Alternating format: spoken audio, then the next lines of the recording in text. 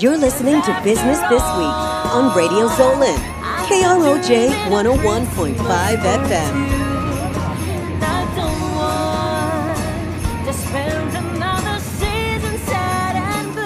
Expanding two decades of business, entertainment, and government. It's Business This Week with Saul Mejia. Now, from the studios of Radio Zolan, KROJ 101.5, here is your host, Saul Mejia.